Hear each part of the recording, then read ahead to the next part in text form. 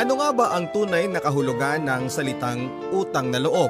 Nababayaran ba ito ng salapi? Kung hindi, sa anong paraan mo ito mababayaran at kailangan mo ba itong bayaran? Magandang araw mga kabarangay, muli isa na naman pong kwento ng buhay, pag-ibig at pag-asa ang hatid sa inyo ng programang Barangay Love Stories. Dear Papa Dudut, tawagin niyo ako sa pangalang Juana. Kasalukuyan akong kumukuha ng kursong Hotel and Restaurant Management. Dalaga pa lamang ako nang makahiligan ko ang pakikinig ng Barangay Love Stories.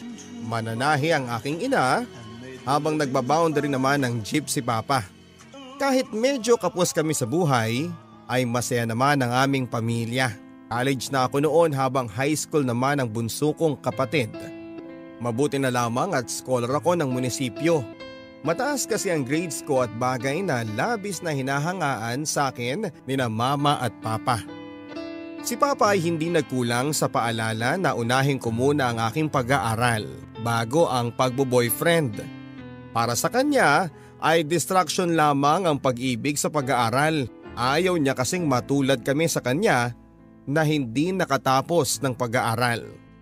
Kita mo kami ng nanay mo. Nang makilala ko siya, nasira na ang konsentrasyon ko. Eh tingnan mo ako ngayon Nakangiti namang kwento ni Papa sabay tingin kay Mama na seryosong nakatingin sa kanya. Batid kong nagbibiro lang si Papa ngunit seryoso siya sa punto niya. Sa totoo lang Papa Dudot ay hindi ko pa kasi nakikita ang lalaking gusto ko.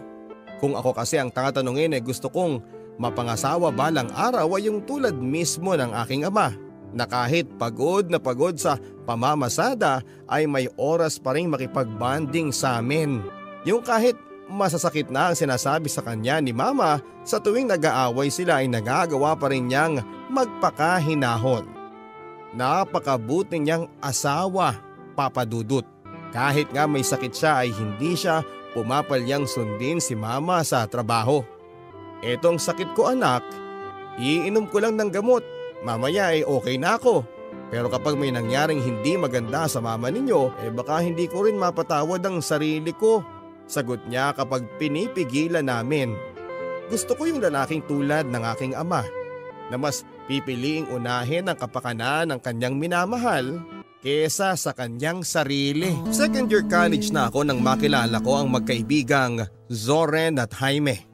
Kapwa sila mabait sa akin pero mas malapit ako kay Jaime. Una nang nabanggit sa akin ni Jaime ang plano ni Zoren na ligawan ako. Ayoko sanang pumayag papadudot na magpaligaw kay Zoren pero dahil sa magkaibigan sila ni Jaime ay nagkibit balikat na lamang ako. Sa kanilang dalawa papadudod ay kay Jaime ko nakita yung ugaling hinahanap ko sa isang lalaki. Kaya nga sa ginagawa niyang pagrereto kay Zoren, sa akin ay kabaligtaran ang nangyayari. Mas lalo lang kasi siyang napapalapit sa puso ko. Ang ayaw ko naman kasi kay Zoren ay parang lahat na ng diskarte niya para sa akin ay inaasa lamang niya kay Jaime. Pansin ko rin kay Zoren ang kawalan ng interes sa pag-aaral. May mga pagkakataon kasi papadudot na nahuhuli ko si Jaime na ginagawa ng assignment si Zoren bagay na ikinaka-turn off ko sa kanya. At dahil nga napapadalas na ang pagsama sa akin ni Jaime ay parang itinuturing ko na siyang best friend. Magkaiba kami ng kursong kinukuha ni Jaime kaya magkaiba rin kami ng oras ng uwian. Pero nagtitiis siyang hintayin ako sa labas ng classroom namin nang sa ganon ay sabay kaming makakauwi. Alam mo, kung hindi lang kita kaibigan, iisipin ko talagang nililigawan mo ko. Ang tiyaga mo rin kasing maghintay sa akin eh. Eh pwede namang mauna ka na lang. Kaya ko namang mag-commute mag-isa eh. Nakangiting sabi ko sa kanya. Kapag nag-commute ka, lalanghapin mo pa yung air pollution Kakaantay sa paradahan. Pagkatapos noon, makikipagsiksikan ka pa sa ibang tao. Oh, stress di ba? Ganito kasi yun eh. Ayaw lang kitang nahihirapan. Kaya hanggat kaya ko pa, iyahatid sundo kita. Hanggat kaya mo pa? Bakit? May taning ka na? Pabirong sagot ko. Joke lang. Ay nako, kapag ako nalagay sa alanganin, mahihirapan kayo ha. Royal blood kaya ako. AB positive. Pagmamalaki niya na sinundan ko naman ng batok. Mabuti na lamang at natataong wala si Papa kapag hinahatid niya ako sa bahay. Kung hindi ay baka nakarinig na ako ng kaliwat kanang sermon. Sigurado rin kasi akong magdududa yon sa pagkakaibigan namin ni Jaime. Kinakabahan nga ako nang makita kami ni Mama habang angkas ako ni Jaime sa motor. Ang buong akala ko pa ay magagalit siya pero nagkamali ako. Nang tanungin niya kasi ako kinagabihan ay nagtiwala siya sa naisagot ko na magkaibigan lang kami ni Jaime. Basta wag mo lang kakalimutan ang pakiusap sa iyo ng papa mo ha. Unahin muna ang pag-aaral mo. Tanging bilin sa akin ni mama. Maging sa pagkain ng pananghalian ay walang minti si Jaime sa pagsabay sa akin. Nakasanayan na kasi naming lagi kaming nagkakasabay kumain. Napagkakamalan na nga siyang madalas ng mga kaklasiko na nanliligaw sa akin. Kapag tinutokso nila ako, ay sinasabi ko na sadyang malapit lang kaming magkaibigan ni Jaime. Pero ang katotohanan, Papa Dudut, gustong gusto ko yung ideya na para kaming magkasintahan ni Jaime. Yung parang lahat ng pabor na maging kami dahil sa panunukso nila. Sana nga itotohanan na lang ang lahat. Sana si Jaime na lang ang nanligaw sa akin nang sa ganon ay hindi na mahirap sa akin ang sagutin siya. Tanging siya lang kasi ang nakakasundo ko sa lahat. Lalo na sa trip kong pagkain na street foods. Liban lang sa pagkain ng balot. Madalas ko kasi siyang tawanan sa tuwing nandidiri siyang panoorin akong kumakain ng balot. Lalo na sa tuwing inaalokan ko siyang sabayan ako. Ano bang nakakatawa? Eh sa nakakatakot nga yung kainin eh. Pagtutukoy niya sa sisiw sa loob ng balot. Wala naman. Para lang kasing bakla ka dyan eh, pangaasar ko. Uy hindi ah, kasi kung bakla ako edi eh sana hindi ikaw ang kasama ko ngayon. Tugon niya dahilan para matigilan ako. Tila may lamang kasi yung sagot niya. Kung alam lang niyang tagos ang bawat biro niya sa akin. Hanggang sa makatanggap ako ng text mula kay Soren. Ang sweet ninyo namang pagmasdan ni Jaime, Joanna. Tell me, nilalakad ba talaga niya ako sa'yo? Hindi ko nagustuhan ang content ng text ni Zoren. Ganun pa man ay nagpakahinahon pa rin ako sa aking reply. Magkaibigan kami ni Jaime at wala akong nakikitang masama doon. At kung manliligaw man siya, hindi na rin naman niya kailangang gawin. Magalit man siya sa akin ay nireply ko na at wala na akong pakialam. Kinabukasan noon ay nahalata ko ang pagiging ilab sa akin ni Jaime. Nung unang araw ay hinayaan ko lang, akala ko kasi nataon lang na busy siya. Pero nang umabot na ng ilang araw ay naalarma na ako. Feeling ko kasi papadudot ay sinisimulan na niyang limitahan ang pagsama sa akin. Meron yung sasamahan niya akong mananghalian pero hindi na ako maisasabay sa pag-uwi. Laking inis ko lang nung isang araw na inintay kong matapos ang klase niya para sabay na sana kami sa pag-uwi kaso ay Inabot na ako ng alas 6 pero ni anino niya ay hindi ko nakita. Ang masama pa ay inabutan ako ng ulan sa kakahintay sa kanya. Kaya naman magkahalong galit at tampo talaga ang naramdaman ko. Tampo kay Jaime na nagagawa akong tiisin at galit kay Zoren na siyang dahilan ng pag-iwas sa akin ni Jaime. Kinabukasan noon papadudot ay sinadya ko talaga siyang puntahan sa unang klase niya para kumprontahin. Iniiwasan mo ba ako Jaime? Lately kasi eh, mangilan-ngilang ka na lang nagkakaroon ng time sa akin. Sa naging asal ko ay para akong girlfriend na pinagdadamutan ng oras. Uy hindi ah, ito naman, marami lang kasi akong inaasikaso ngayon. Sagot niya habang iniiwas ang tingin niya sa akin. Jaime, hindi ako manhid para hindi ko maramdaman. Pinagbabawalan ka naman ni Zoren na lumapit sa akin. Tell me. Uy hindi ah, Ganito kasi yun. Sinasanay ko lang ang sarili ko, Joanna. Kampanting tugon niya. Sinasanay? Sinasanay ang sarili mo saan? Pagtatakang tanong ko. Sinasanay na paminsan-minsan na lang kitang makakasama.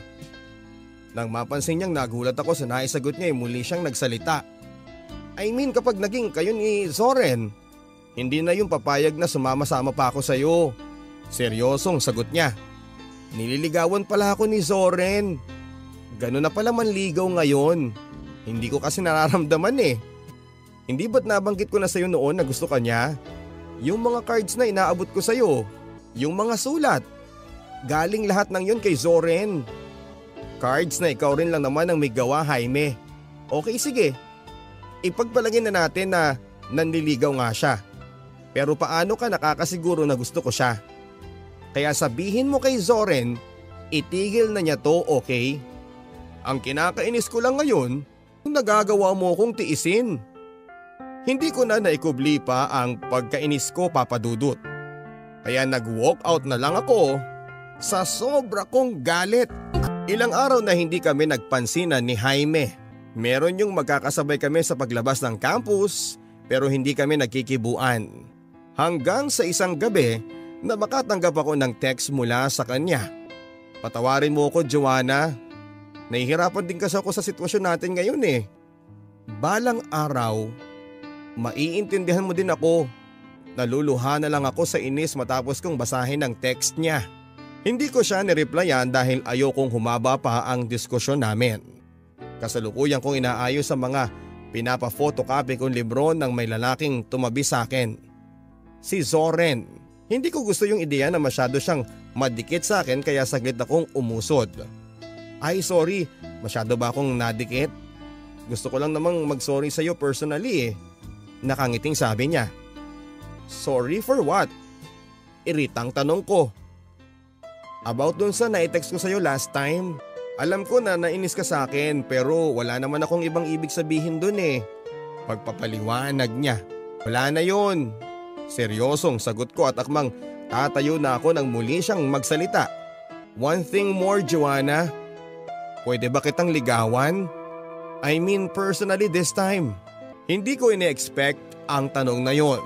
Kung hindi ako nagkakamali marahil ipinarating sa kanya ni Jaime ang mga sinabi ko.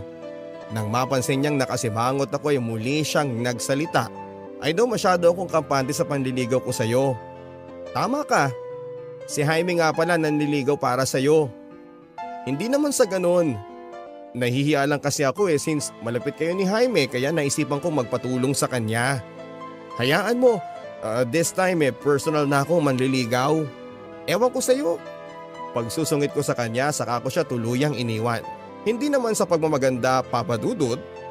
Sa sitwasyon kasi namin ni Jaime, parang imposible nang pakitunguhan ko si Zoren ng maayos. Madalas niya akong tawagan pero never ko pang sinagot. Ilang text rin ang natatanggap ko sa kanya pero ni isa'y wala akong nareplyan. Ayoko lang kasing isipin niyang binibigyan ko siya ng pagkakataon. Kaya hanggat maaari ay hindi ko pinapansin si Zoren.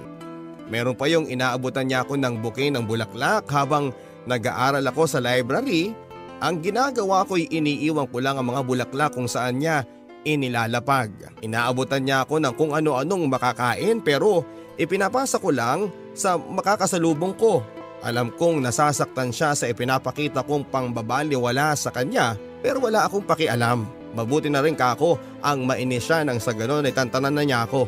Isang araw kasalukuyan akong nakatambay sa isang kiosk nang lapitan ako ng isang babae. Nagpakilala siya na si Nadine. Itinatanong lang daw sana niya kung bakit ilang araw nang hindi pumapasok si Jaime. Ang akala pa nga niya ay nag-away kami kaya ito lumiliban sa mga klase niya. Maging ako ay napaisip sa mga nasabi sa akin ng kaklase ni Jaime. Ang buong akala ko ay sadyang iniiwasan ako ni Jaime. Ang totoo pala'y hindi na talaga siya pumapasok sa lahat ng mga subjects niya. Nakaramdam din ako ng guilt na marahil ay ako nga ang dahilan ng pagliban niya. Nagabihan noon ay agad kong dinaya lang number ni Jaime pero out of coverage area. Kaya lalo akong nag-alala. Habang nag-iisip ako ng paraan kung paano ko makakausap si Jaime biglang nagring ang cellphone ko mula sa isang unknown number. Sa pag-aakalang si Jaime ang tumatawag ay agad kong sinagot. Ngunit boses ni Soren ang narinig ko sa kabilang linya. Gaano ba kalala ang atraso ko sa iyo Joanna at kailangan mong pahirapan ako ng ganito? Malungkot na tanong niya. Alam mo okay naman kasi eh. Kahit dalawa lang kami ni Jaime. Bakit kasi pati pagkakaibigan namin kailangan mo kontrolin? Galit na naisagot ko sa kanya. Teka Joanna, ano mong sinasabi mo? Tumatawag nga rin ako to ask kung may balita ka kay Jaime eh.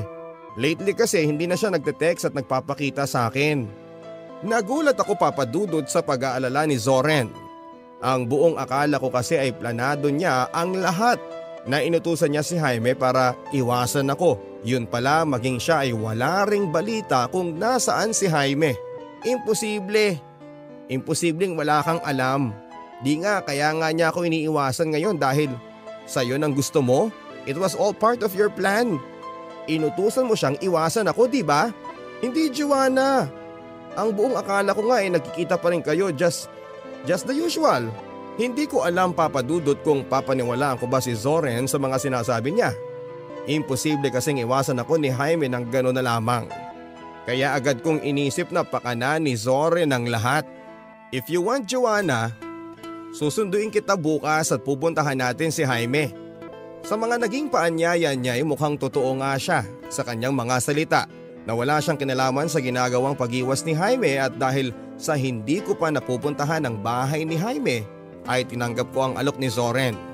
Nang makarating na kami sa bahay nila Jaime ay tanging bunsong kapatid lang niya ang nadat na namin. Mag-iisang linggo na sa ICU si kuya. Lumala kasi yung sakit niya sa kidney eh.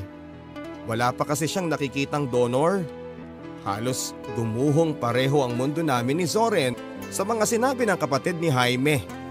Maging siya pala ay walang ideya sa karamdaman ni Jaime. Nang puntahan namin si Jaime sa ospital ay kapwa namin hindi napigilan ang emosyon namin papadudot. Ang laki kasi ng ipinayat ni Jaime na halos hindi na namin siya mamukhaan. Dude, bakit hindi ka man lang nagsabi para man lang nagawa natin ang paraan? Umiiyak na usaw ni Soren sa nakaratay niyang kaibigan. Yun palang papadudot ng kauna-unahang pagkakataon na nakita ko si Soren na umiiyak. Yung Soren na mayabang sa paningin ko ay nagmistulang maamong tupa ng mga oras na yon. Humahagulhol siya habang ako naman ay patuloy din sa pag-iyak. Hindi ko kasi inakalang may pinagdadaanan pala si Jaime. Balang araw, maiintindihan mo din ako Joanna. Muling bumalik sa akin ang laman ng text niya na kaya pala niya ako iniiwasan ay para hindi ako masyadong mahirapan kapag wala na siya. Parang nadudurog ang puso ko habang pinagmamasdan si Jaime. Kung maaari ko lang kunin ang lahat ng dinaramdam niya ay ginawa ko na. Kaya niya pala ako iniiwasan ay dahil alam na niya sa sarili niya na hindi na siya magtatagal pa. Parang hindi ko kakayanin papadudod kapag nawala sa buhay ko si Jaime. Magsisinungalin ako kapag sinabi kong hindi ko siya mahal. Jaime? Jaime si Joanna ito. Lumaban ka ha? Hindi ba sabi mo noon ayaw mong nakikita akong nahihirapan? Jaime? Nahihirapan akong nakikita kang ganyan. So please lumaban ka. Hindi ba? Sasamahan mo pa akong kumain ng balot? Hindi na kita pipiliting kainin yung sisiw. Kaya gumising ka na. Umiiyak na bulong ko kay Jaime. Hindi pa rin napapawi ang pagluha ko kahit nasa daan na kami ni Soren pauwi sa amin. Maging siya ay tila ba napakalayo ng iniisip habang nagmamaneho. Nabalutan ang katahimikan ng paligid. Sa totoo lang papadudot nang makita ko ang malasakit ni Soren kay Jaime sa ospital ay tila ba gumaan ang loob ko sa kanya. Simula noon papadudot ay wala ng ibang laman ng panalangin ko. Kundi ang magkaroon ng isang himala ang mapabilis ang paggaling ni Jaime. Nabanggit ko na rin kay mama ang tungkol sa kanyang kalagayan. Hindi ko alam kung papaanong paraan ko noon ikukubli ang lungkot na nararamdaman ko. Pinipilit ko ring huwag maapektuhan sa pag-aaral ko dahil iniisip ko si Papa. Magmula nang malaman namin ni Zoren ang kalagayan ni Jaime ay naging malapit kami sa isa't isa. Nagkamali pala ako sa inakala kong wala siyang pagpapahalaga sa pag-aaral. Dahil nang makita ko ang kanyang grades ay tila ba nahiya ako sa mga grades ko. Bukod sa pag-aalala kay Jaime, ay labis din ang pag-aalala niya sa akin. May mga pagkakataong kasing tinatanggihan ko ang alok niyang pagkain. Hindi makakatulong sa paggaling ni Jaime ang ginagawa mo, Joanna. Kaya please lang kumain ka na. Minsang sabi niya para kumbinsihin akong kumain. Nakikita ko namang seryoso na siya sa panliligaw sa akin papadudot. Nadadalas na rin kasi ang pagpapakita niya ng malasakit sa akin maging sa mga taong malapit sa akin. Dati ko nang nabanggit sa kanya na istrikto ang aking ama kaya hanggat maaari ka ko ay iwasan niyang bumisita sa bahay. Mabuti na lamang at agad niya itong naunawaan. Sabihin ko na lang daw sa kanya kung kailan niya pwedeng ligawan ang mga magulang ko. Hayaan mo sana akong gawin to Joanna. Kahit bigyan mo na lang ako ng dalawang buwan at kung pakiramdam mo ay wala talaga akong pag-asa. Just let me know at kusa na akong lalayo sa'yo. Seryosong sabi sa akin ni Zoren. Inaamin ko papadudot. Kinikilig ako sa mga ipinapakitang sinseridad ni Zoren na maging mga magulang ko ay gusto rin niyang ligawan. Sayang nga lang at hindi pa ako pwedeng mag-open up kay Papa. Sigurado kasing magagalit yon kapag nalaman niyang nagpapaligaw na ako. Napapadalas na rin ang pagpasyal namin kay Jaime na kasalukuyan na rin nasa ICU. Patid namin ni Zoren ang lungkot sa mukha ng mga magulang ni Jaime. Nabanggit din nila na tanging kidney donor na lang ang pag-asa nila upang muling bumalik sa normal si Jaime. May nakausap na po akong donor tita. Kaso eh kailangan ko siyang sunduin sa Bulacan. Hindi niya kasi kabisado rito sa atin eh. Sa nasabi ni Zoren ay nakita kong nabuhayan ng loob ang mga magulang ni Jaime. Maraming salamat Zoren. Gagawin namin ang lahat mabuhay lang ang anak namin. Pakisabi magbabayad kami sa kahit na magkanong halaga. Lumuluhang sabi ng papa ni Jaime. Kayo na lang po ang mag-usap tita kapag andito na siya. Sagot naman ni Zoren. Kinabukasan nga noon ay nag-text sa akin si Zoren. Babiyahin na kasi siya papunta sa Bulacan. Sa gagawin ni Zoren ay nakadagdag punto siya sa puso ko. Sobra akong humanga sa pagmamahal niya kay Jaime. Hindi biro ang bumiyahe sa may kalayuang lugar. Bukod sa nakakapagod ay magastos din. Nagpresenta rin akong samahan siya sa biyahe para sana ay hindi siya antukin sa kanyang pagmamaneho. Yun nga lang ay hindi rin niya ako pinayagang sumama. Sorry Joanna ha, gustuhin ko mang isama ka. Kaso ay nangako kasi akong mag-isa siyang susunduin eh. Pagtutukoy niya sa kidney donor ni Jaime. Kahit nasa malayo si Zoren ay patuloy pa rin ang panliligaw niya sa akin. Lagi niyang chinecheck kung kumain na ba ako sa oras at kung ano-ano ang pinagkakabalahan ko. Hindi rin siya nagkulang sa pagpapaalala sa akin na ingatan ang aking sarili na minsan ay may kalakip pang pambobola. Kasalukuyan ako noong nagre-review para sa midterm examination sa dalawang major subjects ko. Kaya idinaan ko na lamang sa text ang tawag ang pagbonitor sa operasyon ni Jaime. Mabuti na lamang at laging, laging nandyan si Soren para balitahan ako. Pareho na silang mahalaga sa akin dahil na rin sa nakita kong mali ako sa lahat ng inakala ko kay Soren. Kaya lagi ko ring pinapaalahanan si Zoren na ingatan ang kanyang sarili habang tinututukan ang kondisyon ni Jaime. Mabuti na nga lang at matagumpay ko ring nairaos ang midterm examinations kasunod ang text ni Soren na naging matagumpay ang naging operasyon ni Jaime. Kinabukasan noon papadudot mula sa school ay mabilis akong gumayak para makita si Soren at Jaime sa ospital. Pagdating doon ay agad kong nakita sa parkingan ng kotse ni Zoren kaya minadali ko na ang paglalakad upang abutan siya sana. Ngunit ayon sa mama ni Jaime ay nagkasali silang kami. Medyo hindi rin kasi magandang pakiramdam niya kaya pinauwi na muna namin. Sobrang pagod lang siguro yon. Hayaan na muna natin siyang ipahinga yon. Dugtong naman ng mama ni Jaime. Ang mama na rin ni Jaime ang nag-relay sa akin sa mga findings ng doktor matapos ang operasyon. Within 24 hours daw ay maaring magising na si Jaime. Naging mabuti raw kasi ang reaksyon ng katawan niya sa new kidney niya. Abot langit papadudot ang pasasalamat ko sa magandang balitang iyon. Sayang nga lang at hindi na ako nagkaroon ng pagkakataong makilala ang kidney donor ni Jaime na agad din namang nagpahatid sa ambulansya para makauwi. Napansin kong pagiging ilab sa akin ng papa ni Jaime. Sa tuwing kinakausap ko kasi siya ay tanging iling at tango lamang ang naisasagot niya. Parang minamadali rin niya ako sa tuwing dinadalaw ko si Jaime. Umabot ng tatlong araw na hindi ko nakikita si Soren simula noon. Sa tuwing tinatanong ko siya sa text kung kumusta na siya, sa kanyang pakiramdam ay lagi namang positive ang sinasabi niyang Sobrang napagod lang daw siguro siya sa biyahe. Gusto ko pa sanang dalawin ang bahay nila kaso ay siya rin lang ang nagpupumilit na hindi na kailangan. Konting sinat lang to. Huwag mo na akong alalahanin kamahalan. Sagot niya na animoy kasintahan niya ako. Magaan na ang kalooban ko kahit papaano kay Zoren. Kaya wala na lang sa akin ang pasyalan sana siya. Paraan ko na rin yon para magpasalamat sa pagmamalasakit niya kay Jaime. Kasalukuyan ako nanonood ng teleserye ni na Dingdong Dantes at Marian Rivera nang tabihan ako ni Papa. Ang ganda ng ngiti mo anak ka. In love ka na rin ba katulad nila? Tanong niya sa akin. Tanging ngiti lang ang naisagot ko kay Papa. Nang mga sandaling yon ay si Jaime ang pumasok sa aking isipan. Wala akong dalangin kundi ang mabilisang paggaling niya. Nang sa ganoon ay makabalik na kami sa dati. Sobra kasing namimiss ko na siya. Tumanda na kami ng nanay mo anak.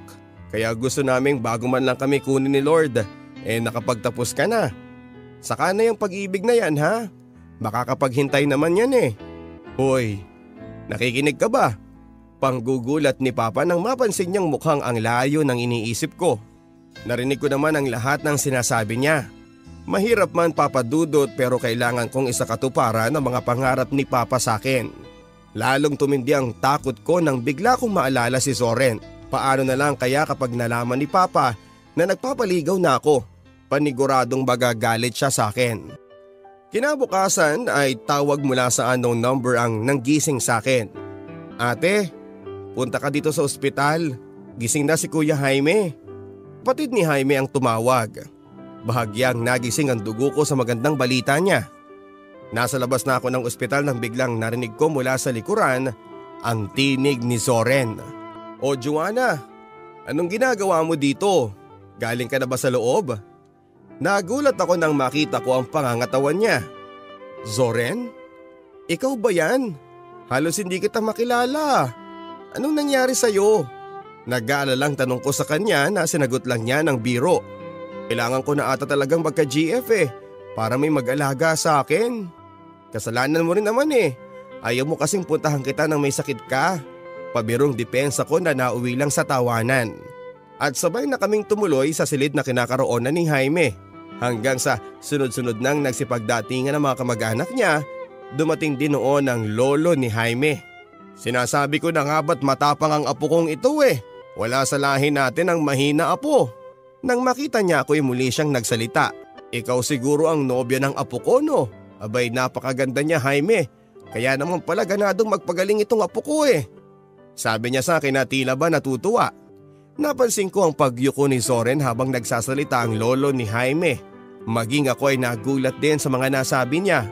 Milagro talagang maituturing ang pagaling ni Jaime papadudut. Kaya naman laking pasasalamat ko sa Diyos sa pagdinig niya sa mga panalangin ko. Kay Soren at sa donor niya na hindi ko man lang nakilala. Makalipas ang isang linggo ay nakabalik na rin sa school si Jaime.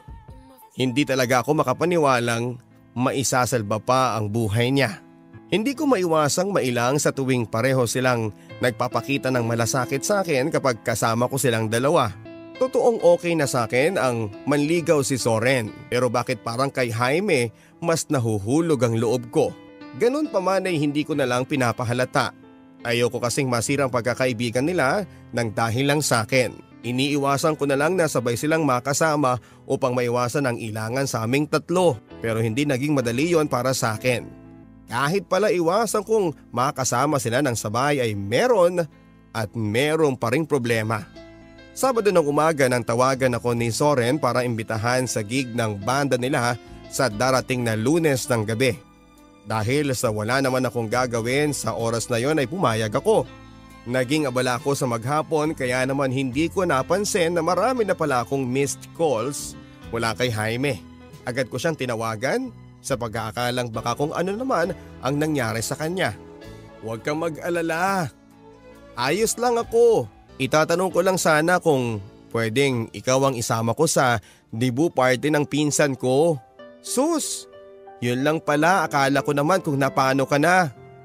Oo naman basta ikaw. Nakangiting sagot ko sa kanya. Pagsapit ng lunes ay maaga kong inihanda ang damit ko na aking isusuot. Gusto kong magmukhang maganda sa paningin ni Jaime. Nabanggit ko ang patungkol sa okasyon na dadaluhan namin ni Jaime kay mama. Anak, baka naman iba na yan ha? Nandiligaw naman ata si Jaime sa iyo eh. Pabirong tanong ni mama sa akin.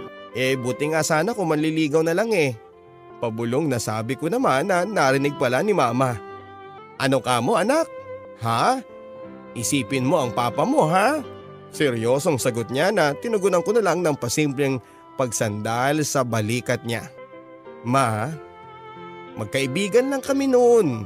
Huwag po kayong mag-alala ni Papa dahil kapag nagka-boyfriend na ako, kayo po ang unang makakaalam. Well, good luck. Good luck sa inyo ng papa mo. Kantsaw ni mama. Eh alam mo namang unika iha ka nun eh. Kaya natural lang na ipagdadamot ka niya. At saka gusto niya kasi na makapagtapos ka muna anak. Seryosong sabi ni mama sabay abot sa akin ng nakatuping damit. Oh, eto ang isuot mo.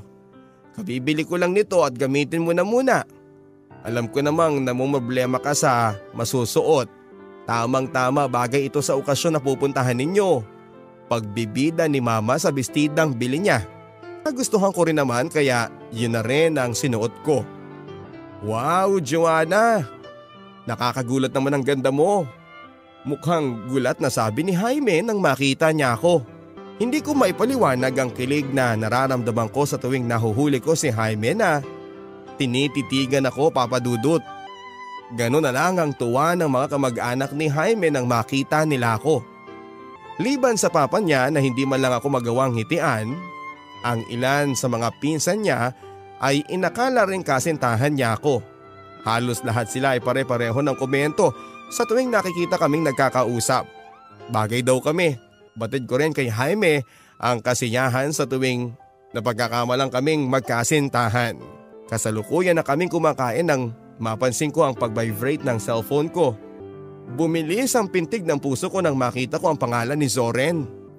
Doon ko lang kasi naalala ang usapan namin sa parehong araw at oras. At paniguradong hinihintay niya ako. Ganun pa man ay pinili ko na lang na libangin ang sarili ko. Pansamantala kong inoff ang cellphone ko at ayoko kasing masira ang gabing yon kung saan ay kasama ko si Jaime. Ang lahat ay nakangiti habang pinagmamasdang kami ni Jaime sa aming pagsasayaw. Para bang ayaw ko nang matapos ang gabing yon papadudot. Hindi mo lang alam kung gaano mo ko napasaya sa gabing ito, Joanna. Nakangiting bulong niya sa akin habang kami ay sumasayaw. Basta ikaw, Jaime. Nakangiting sagot ko sa kanya habang nakatitig kami sa isa't isa. Nasa daan na kami pauwi nang mamukhaan ko ang lalaking kanina pa tila ba may hinihintay mula sa kadiliman. Nang mapansin niyang papalapit na kami sa kinakatayuan niya, ay pasimple siyang lumapit sa amin habang pumapalakpak. Si Zoren. At mukha siyang nakainom sa kanyang anyo kaya agad akong kinabahan sa maaari niyang gawin. Ang galing! Ang galing-galing lang! Kaya naman pala natitiis mo ako naghihintay sa wala dahil kasama mo siya. Zoren, makinig ka sa akin. Pag-awat ko. Tama na yan Zoren. Nakainom ka lang. Malumanay na sabi ni Jaime. Okay lang. Sanay naman na ako eh. Sanay nang binabaliwala lang. Ganon naman ako kawalang kwenta. Joanna hindi ba? Sabi ng tama na eh. Pagtataboy ni Jaime kay Soren na noon ay tinatangka akong lapitan. Isa ka pa. Dugtong niya sabay sa pa kay Jaime. Mabuti na lang at nailagan na ni Jaime ang susunod pang pagtatangka niyang pananakit at dahilan para madapa ito. Hindi kita papatulan. Iuuwi na kita, ang sabi ni Jaime. Marami pang sinabi noon si Soren pero maya maya ay tila matutumba na ito sa kalasingan kaya naman inalalayan na siya ni Jaime. Ayaw pa niyang magpaawat pero nakiusap na ako. Kaya sumama na siya kay Jaime pa uwi. At kahit pa umandar na noon ang tricycle na sinasakyan nila ay dinig ko pa rin ang paulit-ulit na sinasambit ni Soren. Ginawa ko naman ang lahat, Joanna. Ginawa ko ang lahat para sa iyo. Kung nag-aalala sa naging asal ni Zoren. Kasalanan ko naman talaga ang lahat Lalo pang nakadagdag sa pag-aalala ko ay ang hindi pagre-reply ni Jaime. Inaalala ko kasing kung nakauwi na ba sila ng maayos ni Soren. Kanina ko pa siya naihatid sa bahay nila. Nakakaawa nga kasi umiiyak siya sa sobrang sama ng loob. Lahat daw kasi ng tinutuhog nila sa gigay para sa'yo. Mabuti na lang at napakalma ko rin siya. Sa laman ng text na yon ni Jaime ay bahagyang may kumurot sa dibdib ko. Labis palang pinaghahandaan ni Zoren ang gabing yon para sa akin. Ni hindi ko na nagawang replyan si Jaime sa dami ng pumasok sa isipan ko. Kasalanan ko at ang lahat, Joanna. Muling text niya. Anong ibig mong sabihin, Jaime? Pagtatakang reply ko.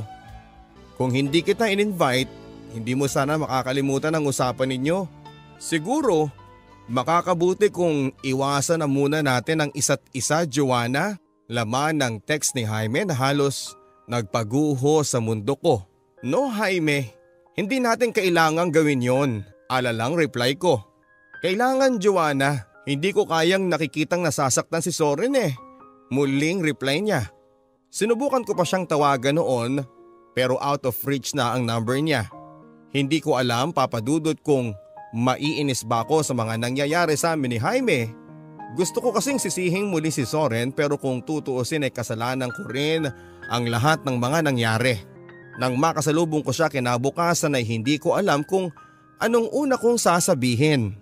Hanggang sa siya na ang unang nagsalita sa amin. Patawarin mo ko sa mga inasal ko kagabi, Joanna. Hindi ko sinasadyang pakitaan ka ng hindi maganda. No, Zoren? Ako ang dapat na humingi ng tawad. It's all my fault. Pero wag mo sanang isipin na nagmamadali ako, Joanna. I can still wait. Sana lang ay wag magbago ang pagtingin mo sa akin. Just because of what happened last night, pagsusumamo niya na agad kong sinuklian ng ngiti. No worry, Soren. Walang magbabago. Promise. Tanging naisagot ko na kaagad na tinugunan naman niya ng matamis na ngiti. Mula noon papadudot ay mas lalo nga kaming naging malapit ni Zoren. Kabaliktaran naman sa ginagawa ni Jaime na bibihira ng magparamdam sa akin. Talagang desidido siyang iwasan ako para sa kaibigan niya. Mahirap man sa akin ang hindi makita siya ay pinilit ko na lang na inunawa ang sitwasyon namin. Kaso ay may mga pagkakataon talagang nami-miss ko siya Lalo na kapag nadadaanan ko ang street foods. Kahit papaano ay natutulungan ako ni Zoren na malibang at ayaw kong mapansin ni Zoren ang pagkamis ko kay Jaime. Hanggat maaari ay iniiwasan kong ma-offend siya. May mga pagkakataon papadudot na nakakasalubong namin si Jaime pero Nasasaktan ako sa tuwing si Soren lang ang pinapansin niya. Kaya minsan kapag kami lang dalawa ang nagkakasalubong ay hindi na lang ako tumitingin sa kanya. Hanggang sa napansin na rin ni Soren ang pagiging ilap namin ni Jaime sa isa't isa. Nag-away ba kayo ni Jaime? Parang hindi ko na kasi kayo nakikitang magkasama. Ha? Hindi eh. Um, ano namang pag-aawayan namin? Masyado lang siguro siyang busy ngayon. Pagdadahilan ko na lang. Sa tono ni Zoren ay tila wala siyang alam sa kaganapan namin ni Jaime. Teka, Nabanggit na ba niya sa iyo tungkol dun sa girl na nililigawan niya? Sunod na tanong ni Zoren na lubos kong kinagulat pero nagawa ko pa rin itago. Ano? May nililigawan na siya? Eh, sino naman kaya? Hindi ko pa alam eh. Nung isang araw kasi nagkasalubong kami may hawak na bouquet ng flowers. Well, kung sino man yung girl, happy ako para sa kanila ni Jaime. At least, Nakahanap na siya ng right girl para sa kanya. Nakangiting sabi naman ni Sorena nakatingin sa kalayuan. Ah, kung okay lang sa'yo Soren, ihatid mo na lang muna ako sa amin. Paanyaya ko kay Soren. Ha? Akala ko ba kakain pa tayo sa labas? Pagtatakang tanong niya. Nag-text kasi si mama eh. Inahanap daw ako ni papa. Pagdadahilan ko na lang para pumayag na siyang ihatid ako. Hindi ko alam papadudot kung napansin ba ni Zoren ang asal ko matapos ng balita niya sa akin. Papadudot, walang kasing sakit sa akin nang malamang may iba nang gusto si Jaime. Gustong gusto ko siyang puntahan para kausapin. Gusto kong kumpirmahin ang mga nalaman ko ang tungkol sa mga sinabi ni Zoren. Pero anong mapapala ako kapag ginawa ko yon? Magmumukha lang akong kawawa sa harap niya. Kaya wala na akong nagawa kundi ang umiyak na lang sa sobrang sakit. Lalong nadadagdagan ng sakit sa dibdib ko nang makita namin si Soren na may kasamang babae. Jaime, ipakilala mo naman sa amin oh. Kantsaw sa kanya ni Soren. Napansin ko kay Jaime ang pagkagulat nang makita niya ako. Uy, kayo pala. Saglit pa siyang natigilan bago muling nagsalita. Ah eh, si Janet nga pala. GF niya kahapon lang. Dugtong ng babae na punong-puno ng kagalakan ang mukha. Hi Janet, nice meeting you. Si Joanna nga pala, pagpapakilala ni Soren sa akin na agad ko ring dinugtungan. GF ako ni Soren, kanina lang. Nice meeting you. Batid ko ang pagkagulat sa mukha ni Soren pero nagpatay mali siya na lamang ako. So kayo na pala. That's great news. Papuri naman ni Jaime na mukhang ikinukubli ang pagkagulat. Dahil kapwa kaming walang klase ni Soren ay naisipan namin ang pansamantalang makipagkwentuhan sa kanila. Walang kasing hirap yon sa part ko papadudot. Ang magpanggap na hindi apektado sa mga nakikita ko. Lalo na kapag nakikita ko ang pagiging clingy ni Janet kay Jaime. Sinusubukan ko rin namang magpakita ng kaswitan kay Zoren kahit na alam kong pagpapanggap lang ang ginagawa ko. Ayaw kong kawaan ako ni Jaime. Kaya nagawa kong gamitin si Soren. Pauwi na kami papadudot nang biglang inihinto ni Soren ang sasakyan para kausapin ako. I hope you don't mind if I ask you this, Joanna. Tungkol ito sa mga nangyari kanina. Nung ipinakilala mo akong boyfriend kina Jaime at sa GF niya. Do you really mean it? Seryosong sabi niya, sabay hawak sa mga kamay ko. Oo Zoren, sinasagot na kita. Matagal-tagal ka na rin nanliligaw sa akin eh. Matagal na rin kitang pinaghihintay. Sagot ko na may ngiti sa aking mga labi. Talaga? Oh my God! Pangako, Hinding hindi ka magsisisi mahal. Umasa kang hindi kita lolokohin at paluluhain. Masayang sabi niya sa kanya ako niyakap ng napakahigpit. Dama ko sa higpit ng yakap ni Soren ang labis na kaligayahan. Nang yakapin niya ako papadudot ay saka pa lang ako napapikit sa sobrang sakit ng pinagdaraanan ko. Ang makitang may iba na si Jaime. Kaya napilitan akong sagutin na si Soren. Alam kong mali pero kung yun lang ang tanging paraan para maitago ang sakit ay gagawin ko. Naiinis lang ako kasi dun sa puntong parang ang dali-dali kay Jaime ang tiisin ang nararamdaman ko. Alam kong alam niyang nasasaktan ako. Pero bakit parang wala lang sa kanya? Hindi ko maiwasan ang makaramdam ng inis sa tuwing nakikita ko si Jaime lalo na kapag magkasama sila ni Janet. Mabuti na nga lang at kasama ko rin lagi si Soren. Sa ganung paraan ay hindi ako nahihirapang itago ang totoong damdamin ko. Mula nga papadudot nang dumating si Janet sa bahay ni Jaime ay nadadalas na silang sumasama sa amin. Ang hindi ko lang alam ay kung sinasadya nga ba niyang gawin yon para pasakitan ako. Natataon rin kasing ang daming naiisipan ni Soren na lakad para sa amin. Dahil nga sa may kotse si Soren, kung kaya kung saan saan kami nakakarating, kung ako lang ang tatanungin ay ayaw ko sana nung ganong ideya na lagi silang magkakasama. Lalo na noong minsang mamatayan kami ng makina sa palengke. Nako guys, mukhang mapipilitan tayo maglakad muna. Sinumpong na naman kasi itong asma ng kotse ko eh. Ang sabi ni Soren na tinawanan na lang namin. Dahil doon ay napilitan nga kaming apat na maglakad. Nang may madaan ang kaming barbecuehan kung saan ay ang daming kumakain. Tamang tama. Kanina pa ako nagugutom babe. Malambing at tuwang-tuwang sabi ni Janet. Tara may treat. Pag-aalok naman ni Soren. No dude. Sagot ko na yung sabi ni Janet. Tugon naman ni Jaime.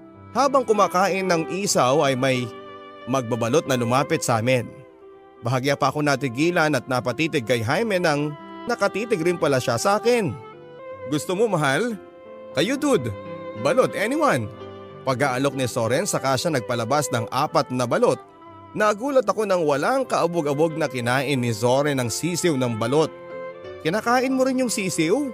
Namamanghang tanong ko. Oo naman mahal. Kalalaki kong ito eh hindi ko makakayanan yan. Pagmamalaking sabi naman ni Soren. Alam kong natamaan si Jaime sa nasabi ni Soren. Tanging ako lang naman ang nakakaalam na hindi niya kinakain ng sisiw ng balot. Babe, may dumi ba ako sa mukha? Tanong ni Janet na noon ay may bahid nga ng sauce sa tabi ng kanyang bibig. Dali-daling pinunasan niyo ni Jaime sa kanya hinalikan si Janet sa kanyang mga labi. Ayan ka na naman babe ha, ninanakawan mo na naman ako ng halik. Ani ni Janet na mukhang kinikilig. Sa nakita ko papadudot ay nakaramdam na naman ako ng inis. Malakas ang kutob kong may dahilan si Jaime kung bakit niya hinalikan si Janet sa harap namin. At yun ay para patunayang hindi siya bakla. Marahil ay natamaan siya sa nasabi ni Soren tungkol sa pagkain ng sisiw. Hindi ko na alam kung sa papaanong paraan itatago ang pagkainis ko kaya inaya ko na lang si Soren na umuwi na. Mamaya na mahal. Hindi pa sila tapos kumain eh. E di kung ayaw mong sumabay sa akin, uuwi na lang ako mag-isa. Galit na sagot ko kay Soren na kalaunan ay sumunod din sa akin. Kinabukasan noon ay nakatanggap ako ng tawag mula kay Zoren. Niyaya niya akong kumain sa labas at masama man ang pakiramdam ko ay pinilit ko na lamang ang sarili kong siputin siya. Apektado ka ba kahapon sa pinapakitang sweetness ni Jaime kay Janet? Seryosong tanong ni Soren na kinagulat ko. Hindi pa man din ako nakakasagot ay muli siyang nagsalita papadudot.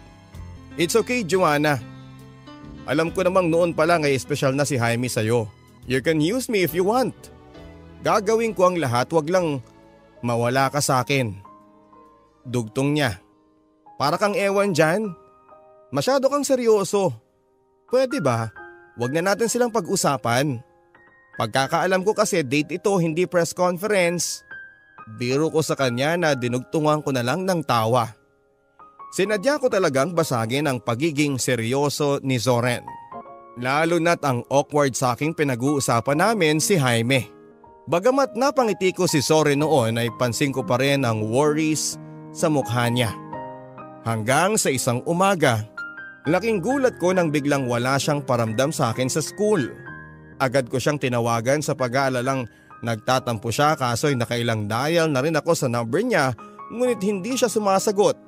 Gusto ko siyang puntahan sa bahay nila kaso ay hindi ko alam kung saan siya nakatira. Nang makita kong mag-isa si Jaime sa kantina ay saglit akong napatigil. Hindi ko kasi alam kung tama bang makipag-usap ako sa kanya. Ang tanging nais ko lang sana ay malaman ang address ni Zoren. Lalapitan ko na sana siya nang biglang dumating si Janet na agad niyang tinabihan dahilan para mapaatras ako sa kinakatayuan ko. Alas 4 na ng hapon noon nang makatanggap ako ng tawag mula kay Zoren. Huy! Ano ka ba? Pinag-alala mo naman ako eh. Ano bang nangyari sa'yo? Dalawang araw ka nang absent ni wala ka man lang paramdam. Sunod-sunod na tanong ko sa sobrang pag-aalala. Pagpasensyahan mo na ako Joanna. Nahimatay kasi ako eh. Agad nila akong sinugod sa ospital. But don't worry, I'm doing well now. Malumanay na sagot niya. Sa kanya na ikwento ang sobrang pagod niya sa bahay maging sa thesis niya. Dahilan para bumigay ang katawan niya. Basta wag mo nang uulitin yun ha. Pinag-aalala mo ako ng sobra eh. Ibig sabihin ba niyan eh sobra mo akong mahal? Pilyong tanong niya. Ah basta, Magpahinga ka na muna dyan. Magkita tayo bukas sa practice ng graduation rites ha. Pasimpleng pagpapaalam ko. Inaamin ko papadudot. Mula nang malaman ko ang nangyari kay Soren ay lubha akong naapektuhan. Yung feeling na natatakot din ako na may mangyaring hindi maganda sa kanya. Siguro nga papadudot ay may puwang na siya. Si Soren sa puso ko. Pagmula nga noon ay nagkamalasakit na ako kay Soren. Lalo na't napapansin kong pumapayat na siya at nang minsan tanungin ko siya sa kalagayan ng kalusugan niya, tulad ng dati ay puro positive pa rin ang sagot niya. Nakadagdag puntos rin sa kanya nang pinakilala niya sa akin ng parents niya. Unfair nga lang sa kanya kasi graduating na kami ay hindi ko pa rin siya ipinapakilala sa mga magulang ko. Hindi naman porket ipinakilala na kita sa parents ko eh mandatory na rin na ganun ang gawin mo mahal. Malambing na sabi niya sa akin. Yan naman ang gusto ko sa iyo eh. Ano nga palang plano ng parents mo sa graduation day mo? Magpapalitsyon ba kayo? Invite mo ako ha, kantsaw niya. Saglit ako natahimik bago ako nakasagot. Hindi naman mahalaga sa akin yung handa eh. Makita ko lang na napasaya ko si na mama at papa. Saya na ako noon, Soren. At yan din ang gusto ko sa iyo eh. Kaya mahal na mahal kita. Malambing pa rin ang tono ni Soren. Mapalad pa rin ako kay Soren papadudot kasi hindi siya tulad ng ibang lalaki. Yung atat ipakilala sa parents ng kasintahan nila. Na-appreciate ko rin siya noong mismong graduation day namin. Kasama ko kasi sina mama at papa at tiniis ni Soren na hindi ako lapitan para mag-congratulate. Dahil alam niyang makakahalata sina mama at papa kapag nagkataon. Maging si Jaime ay hindi ko rin nagawang lapitan dahil kay papa. Pero kitang kita ko kung gaano siya kasaya habang kasama niya si Janet. Laking gulat ko nang makita kong maraming tao sa bahay. Kanina pa pala nila hinihintay ang pagdating namin. Naganda pala kayo mapa. Gulat at maluhaluhang tanong ko kay mama. Ganun ka namin kamahal anak. Dahil hindi mo kami kailanman binigo ng mama mo, dugtong naman ni papa saka kami nag-iyak pang tatlo. Hindi ko kasi inaasahang sa kabila ng kagipitan na nararanasan namin ay magagawa pa nilang magtabi para sa handa. Si mama na rin ang nagkwento sa akin sinadya talaga nilang itago sa akin ang paghahanda ng pagkain. Ang lahat pala ng yon ay sa bahay ng tiyahin ko niluto para hindi ako makahalata. Dahil doon ay ako naman ang napabilib sa mga magulang ko sa pagsusumikap nila na masurpresa ako. O Joanna, Nandito na mga kaklase at kaibigan mo. Ang sigaw ni mama na noon ay abala sa pag-aasikaso sa ibang bisita. Ganun na lang ang saya ko nang makita kong kabilang si Soren sa mga dumating kahit papaano ay hindi siya mahahalata ni na mama at papa. Habang abala silang kumakain ay simpleng lumapit siya sa akin. Actually may dala akong flowers for you. Kaso naalala ko na classmate mo pala ako today. Pabulong na sabi niya sa akin at pasimpleng tumawa. Maging ako ay natuwa rin naman sa naging diskarte niya. Kasalukuyan ako nakikipagkwentuhan sa mga classmate ko nang biglang magring ang sipi ko. Saglit pa akong napatingin kay Soren sa pag-aakalang siyang tumatawag. Pero nang oras na yon ay kasalukuyan siyang kumakain at wala din siyang hawak na sipi. Nang sagutin ko ang tawag ay boses ni Janet ang narinig ko. Joanna, andito kami ni Jaime sa tapat ng bahay ninyo. Masayang sabi niya na mukhang excited. Hindi ko alam kung ano magiging reaksyon ko pero wala na akong nagawa kundi ang salubungin sila. Nakita ko din sa mukha ni Soren ang pagkagulat pero na-manage pa rin niyang maging okay sa harap ng lahat. Nang ipakilala ko ang dalawa kina mama at papa ay ang laking pagtataka ni mama sa nakita niya. Hindi ko pa kasi nababanggit kay mama na may karelasyon na si Jaime. Nang makorner niya ako ay saka ko palang nasagot ang mga katanungan niya na may GF na si Jaime at si Janet yon. Mula nang dumating sina Janet at Jaime ay kapansin-pansin na ang pagsasawalang kibo ni Soren. Nagawa ko pa siyang teksa noon para tanungin kung okay lang siya pero tanging smiley lang ang nai-reply niya. Napansin ko rin ang madalas na pagsulyap sa akin ni Jaime pero dahil sa andon din si Soren ay patay mali siya na lamang ako. Lalo na't nahahalata ko na na may kakaiba sa kilos niya. Hindi ko rin naman siya pwedeng lapitan upang kausapin. Kitang kita ko ng araw na yon na mukhang masaya sa isa't isa sina Janet at Jaime. Kaya naman napag-isip-isip kong siguro ay tamang panahon na para itigil ko na ang kahibangan ko. Lalo na't nakikita kong mahal na mahal ako ni Zoren at marami-rami na rin kaming pinagsamahan. Kaya naman kinagabihan noon pagkaalis ng mga bisita ay saglit ako nagpaalam sa bahay upang makipagkita kay Zoren. I can't believe you na wala kang ideya kung bakit ako nagkakaganito. Galit na sagot niya sa akin nang tanungin ko siya kung may problema ba. Bakit nandun si na Jaime kahapon? Did you invite them? Ano, masaya ka na pasakitan ako? Dire-diretsong tanong niya na may halong pagsiselos. Hindi ko alam yun Soren. Tulad mo nagulat lang din ako. Easy for you to lie. Ganyan ka naman di ba? Ang hilig mong pasakitan ako. Maluhaluhang sumbat niya dahilan para mapalitan yung inis ko ng awa. Stop it Zoren! Hindi ko yun magagawa sa iyo dahil… Dahil ano Joanna? Dahil mahal kita Zoren. Mahal kita. Umiiyak na sabi ko. Nagulat pa ako nang bigla niya akong yakapin ng mahigpit kasabay ng pareho naming paghagulhol sa labis na kaligayahan. Oo Papa Dudut, totoo ang nasabi ko na mahal ko si Soren. Sa buong pagsasama namin ni Soren, Papa Dudut ay yun pa lang ang unang pagkakataong nasabi ko sa kanya. Ang katagang yon na mahal ko siya. Marahil ay napagod na ako sa kakahintay kay Jaime. Pagod na akong niloloko ang sarili ko na may pag-asa pa kami. After 3 months since graduation ay nagkaroon din ako ng lakas ng loob na maipakilala si Soren finally sa mga magulang ko. Hanggang sa open na rin siya sa bahay at nakakainuman na nga niya si Papa minsan. Ang sunod kong inatupag ay ang paghahanap ng mapapasukang hotel para magtrabaho. Ilang hotels rin ang binigyan ko ng resume at mapalad nga akong matanggap bilang isang front desk. Kahit legal na ang relasyon namin ni Soren ay araw-araw pa rin niya akong nililigawan. Bagay na gusto ko rin naman. Hindi ko alam kung papaanong nangyari. Na yung dating awang nararamdaman ko kay Soren ay nag-iba na. Mahal ko na si Soren. Yun ang totoo, Papa Dudut. Kasalukuyan papadudot ang duty ko sa hotel nang textan ako ni Zoren. Hindi niya ako masusundo dahil sa hindi naman maganda ang pakiramdam niya.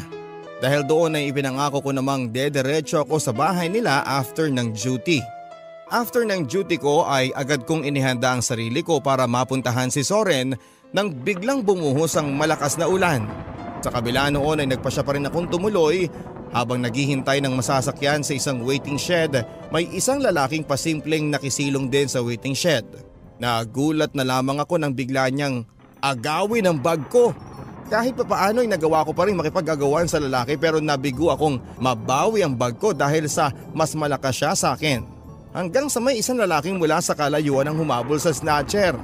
Hindi ako sigurado kung magtatagumpay yung lalaking mabawi ang bag ko kaya wala na akong nagawa kundi ang maiyak sa sobrang inis at pag-aalala. Sa aking pagkakayo ko ay may napansin akong nakatago sa aking harapan. Isang lalaking hawak ang aking bag. Ganun na lang ang kabako ng mamukhaan ko ang lalaking humabol sa magnanakaw. Si Zoren. Sa sobra kong pag-aalala ay agad ko siyang niyakap. Ngunit sa aking pagkakayakap sa kanya ay napansin ko ang kanyang panginginig.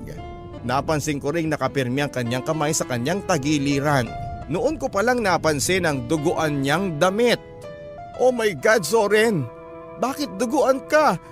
Agad ko namang napagtantong marahil ay nasaksak o nabaril siya ng lalaking humablot ng bag ko. Nang may humintong tricycle papadudot sa harap ng waiting shed ay agad naman akong humingi ng tulong habang nasa daan na kami ay napansin ko ng pagtirik ng mga mata ni Soren na mukhang nanghihina na. Mahal na mahal kita, Joanna. Hindi ko kasi matiis na hindi ka masundo. Pabulong na pagpapaliwanag niya. Tama na Soren. Huwag ka na munang magsasalita. Kumapit ka lang. Malapit na tayo sa ospital. Mahal. Please, lumaban ka. Umiiyak na pakiusap ko sa kanya. Nasa ospital na kami nang magdesisyon akong tawagan ang mga magulang ni Zoren. Ilang sandali pa ay dumating na sila at nag-aalala. Sinabi ko naman sa kanyang huwag nang lumabas eh. Hindi kasi magandang pakiramdam niya. Umiiyak na sabi ng mama ni Soren. Sorry po talaga tita. Hindi ko po sukat akalaing pupuntahan niya ako. Ang usapan kasi namin noon ay pupuntahan ko siya after ng duty. Maging ako ay napaiyak na rin at lumapit sa akin ang papa ni Soren. Kahit sino naman iha eh, gagawin ng anak ko ang ginawa niya. Yung pagsugod niya sa ulan kahit may sakit siya, doon ako napabilib sa kanya. Mahal na mahal ka niya. Maluha-luhang sabi niya sa akin. Naramdaman ko ang comfort namin sa isa't isa ng mga magulang ni Soren. Dumating din noon sa ospital si Jaime. Makalipas ang ilang minuto ay lumabas ang doktor na siyang tumingin sa kondisyon ni Zoren. Halos sabay-sabay kaming napatayo sa pag-aalala. Marami ang nawalang dugo sa anak ninyo. Masyado ring malalim ang pagkakasaksak sa kanya, ang sabi ng doktor. Medyo mahirap hanapan ng donor ang pasyente dahil negative A ang blood type niya. Sino ba sa inyo ang kapareho ng blood type ng pasyente? We really need it as soon as possible. Dugtong ng doktor. Agad ako napatingin kay Jaime ng oras na yon. Alam kong alam niya ang ibig sabihin ng mga titig ko pero nagsawalang kibu pa rin siya. Agara nagpresenta ang tatay ni Soren pero hindi ito maaring mag-donate dahil sa kanyang kalagayang pangkalusugan. May sakit kasi ang papa ni Soren. Nang biglang nagring ang cellphone ni Jaime at sa tono ng pakikipag-usap niya ay halatang si Janet ang kausap niya. Sa kalagitnaan ng pakikipag-usap sa amin ng doktor ay napansin ko ang pasimpleng pagalis ni Jaime. Hindi ko nagustuhan ang ginawa niya at agad ko siyang sinundan at namumula siya. At mukhang nagmamadali Napatigil siya ng lakad nang marinig niya ang boses ko. So ano ha? Aalis ka na lang na parang wala kang narinig?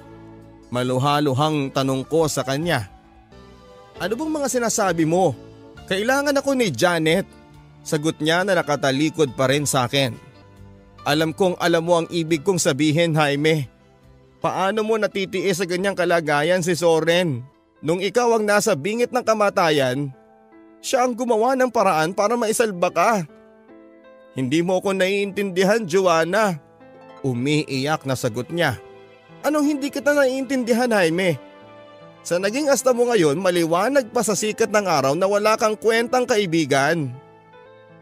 Siguro nga wala talaga akong kwentang kaibigan, Joanna. Bakit? Sa tingin mo madali itong pinagdadaanan ko? Na nung ako na ang nasa bingit ng kamatayan, siya ang sumalba sa buhay ko. Samantalang ngayon, siya na may kailangan ay wala akong magawa para isalba ang buhay niya. Nang humarap siya sa akin ay saka ko palang napansin ang namumugto niyang mga mata. Ang sabihin mo makasarili ka. Alam mong ikaw lang ang maaaring mag-donate ng dugo sa kanya pero hindi mo magawa. Galit na tugon ko sa kanya saka ako tumalikod. Siya ang kidney donor ko, Joanna. Si Soren ang nag-donate ng kidney para dugtungan ang buhay ko. Hindi ko may paliwanag ang pagkagulat ko sa mga binunyag sa akin ni Jaime Papadudut. Nang oras na yon ay parabang huminto saglit ang mundo ko para balikan ang nakaraan. Kaya pala ayaw akong isama ni Soren ng araw na susunduin niya ang donor. Alala ko ring pareho sila ng donor na hindi ko na naabutan ng araw na yon. Hiniling niya sa mga magulang ni Jaime na ilihim sa akin ang lahat dahil ayaw niyang mag-alala ko. Nagsinungalin ang mama ni Jaime nang sabihin niya na nagkasalisi kami ni Zoren. Dahil ang katotohanan pala ay nasa kabilang room lang siya at nagpapahinga. Kaya pala halos hindi ko makilala si Zoren nang muli kaming nagkita. Epekto pala yon ng naging operasyon niya. Bukod sa pagiging magkaibigan namin, ginawa din niya yon dahil nahihirapan siyang nakikita kang malungkot Joanna. Umiiyak pa rin ang tinig ni Jaime. Saka ko palang naintindihan ang punto ni Jaime kung bakit hindi siya pwedeng mag-donate ng dugo. Hindi pwedeng mag-donate ng dugo ang sinumang nagdaan sa isang operasyon. Ang buong akala ko ay doon na nagtatapos sa mga bagay na kailangan kong malaman. Nang muling nagsalita si Jaime. Yun din ang dahilan kung bakit ako nagkusang layuan ka, Joanna. Nang sa ganong paraan ay makabawi ako sa sakripisyong ginawa niya. Ibig mong sabihin ay labag sa kalooban mo ang pag-iwa sa akin?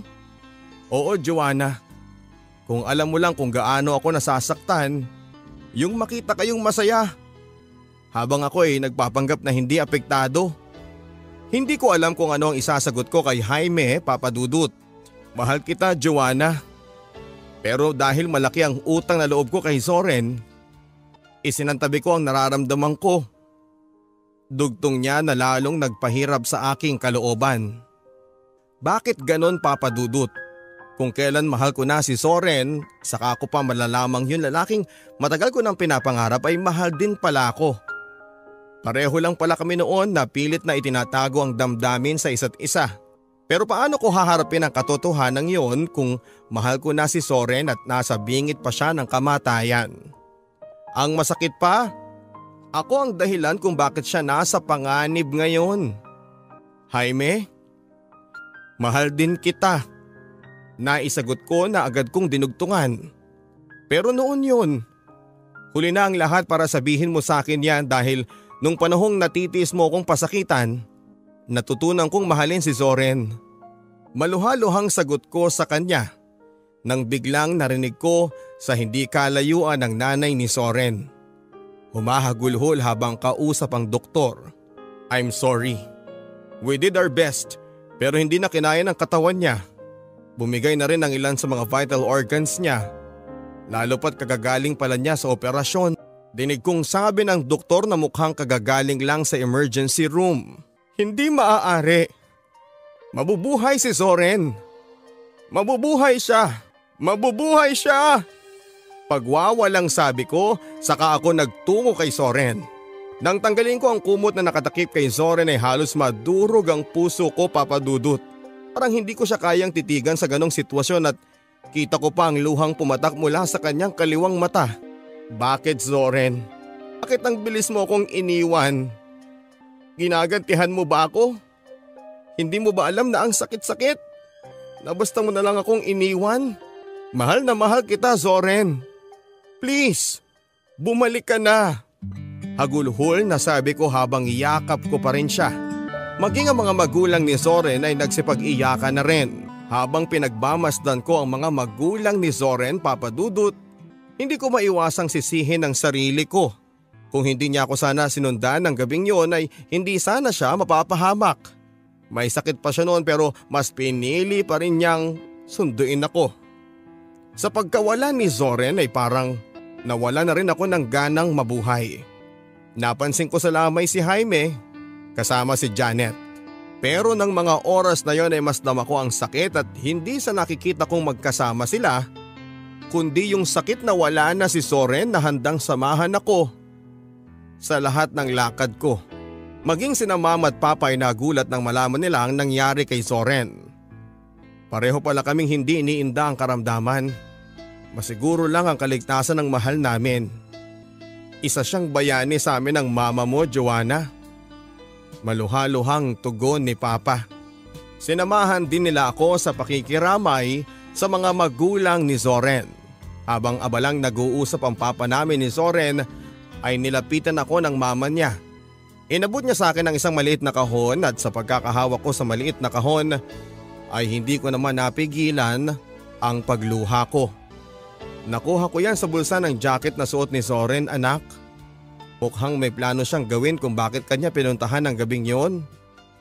At yun ay para yayain ka ng kasal. Maging ang mama ni Soren ay umiyak na rin. Hindi ko rin kasi sukat akalaing may plano na pala siyang gawin yon papadudot. Kaso ay hindi na siya nagkaroon ng pagkakataon dahil mas inuna niyang iligtas ako mula sa magnanakaw. Agad kong sinuot ang singsing na yon papadudot. Gusto kong mapatunayan kay Soren na kahit wala na siya ay handa pa rin akong pakasalan siya. Mahal na mahal kita. Mahal ko at kahit na wala ka na, handa pa rin akong tanggapin ang alok mo maging asawa mo. Umiiyak na sabi ko habang hawak ko ang kamay niya. Ang bigat lang sa dibdib na yung taong pinili mong pakasalan ay iyahatid na sa kanyang huling hantungan. Yung sabay sana kayong uuwi upang pagsaluhan ng inyong pagmamahalan. Pero ang katotohanan ay uuwi akong luhaan. Hindi lang weeks o months ang itinagal ng pagluluksa ko papadudot. Walang araw na hindi sumagi sa isipan ko si Soren. Yung tuwing napapadaan ako sa mga nagbebenta ng street foods, naaalala ko siya. Yung araw na sinusungitan ko pa siya at yung pagiging matyaga niya. Hanggang isang gabi sa aking pagtulog ay Umiiyak daw ako sa isang sulok nang biglang natanaw ko si Soren sa aking harapan. Nilit niyang iabot ang kamay ko sa isang kamay ng lalaki na hindi ko na maaninag kung sino. Basta ang tanging naaalala ko lang ay may suot na bracelet na silver. Pinipilit kong kilalanin yung lalaking may hawak ng kamay ko ngunit bigo ako hanggang sa bigla na lang akong nagising baon ang katotohanan sa aking isipan. Kahit papasok na ako sa trabaho ay pilit ko pa rin iniisip yung naging panaginip ko. Sa kalagitnaan ng duty ko ay may lalaking lumapit sa akin. I-reserve ko daw siya ng isang kwarto para sa kanila ng GF niya. Nagpaalam pa ito na aalis muna para sunduin ang GF niya.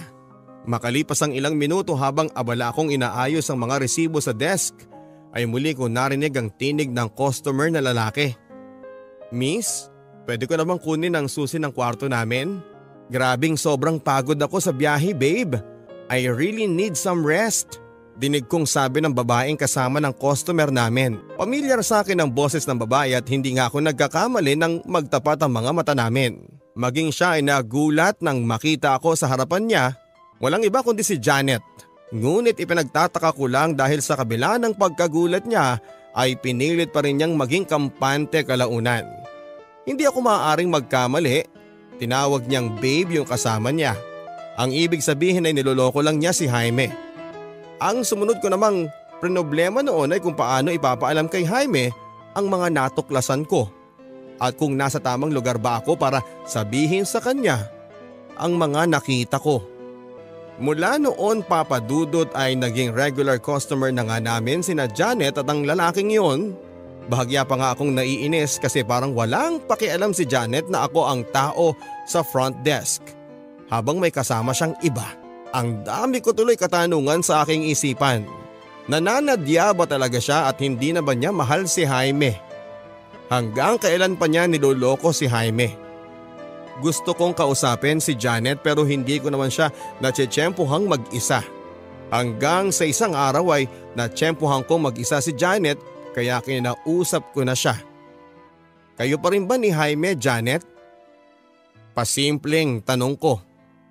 Isn't it obvious? Hindi ka naman siguro bulag para hindi makita yung new guy na kasama ko. Iritadong tanong niya. Sa itsura ni Janet ng oras na yon ay parabang ang laki ng naging kasalanan ko sa kanya. Ang mga titig niyang nangungusap na parang nagsasabing dumistansya ako. Nang matunugan ko ang kasungitan niya ay hindi na ako nakapagsalita pa. Akmang lalabas na ako ng comfort room ay muli siyang nagsalita. Sinubukan ko ang lahat na makakaya ko para paibigin siya. Pero bigo ako eh. Saglit siyang natigilan nang nakita niyang napahinto ako. All this time, niloloko niya lang pala ako. Alam mo kung bakit, Joanna? Kasi ikaw ang mahal ni Jaime. May diing sabi ni Janet sa akin. Nabanggit niya sa akin na kailangan ka na niyang distansyahan para sa kaibigan niyang si Soren. Ako namang si Tanga Pumayag na gamitin niya ako. Umasa kasi ako na balang araw, matutunan niya akong mahalin pero bigo ako Joanna. Dahil kahit hindi niya sabihin, nakikita kong ikaw pa rin ang mahal niya. Maluhaluhang sabi ni Janet. Wala pala silang pinagkaiba ni Zoren at pumayag na magpagamit para magtagumpay kami ni Jaime na pasakitan ng isa't isa. Ang kaibahan lang, natutunan kong mahalin si Zoren. Nang tangkain kong lapitan si Janet ay muli siyang nagsalita. Tama na Joanna. Tanggap ko na. Nagwo-worry lang ako ngayon kay Jaime. Alam kong nagluluksa ka pa sa pagkawala ni Zoren pero mas kailangan ka ngayon ni Jaime. Dugtong niya saka nagmadaling umalis. Medyo naguguluhan pa ako sa mga huling sinabi niya, Papa Dudut. Napaisip tuloy akong kung anong nangyari kay Jaime at huling kita ko sa kanya ay yung last night ni Zoren. Bukod doon ay hindi ko na muli siyang nakita pa. Linggo nang magpa siya akong puntahan si Jaime sa kanilang bahay. Tuloy ka Joanna! Ang batay sa akin ng mama ni Jaime sabay akay sa akin. Agad niya akong dinala sa isang silid at doon ko nga nakita si Jaime. Nakaupo sa sulok ng kanyang kama na nakatitig sa kalayuan. Kahit nang lapitan ko siya ay hindi pa rin ako nilingon. Mula nang mamatay si Soren Joanna Unti-unti na siyang nagkaganyan. Laging tulala. Inaapoy nga siya ng lagnat nung kailan lang eh. Please Joanna, tulungan mo kaming ibalik siya sa dati.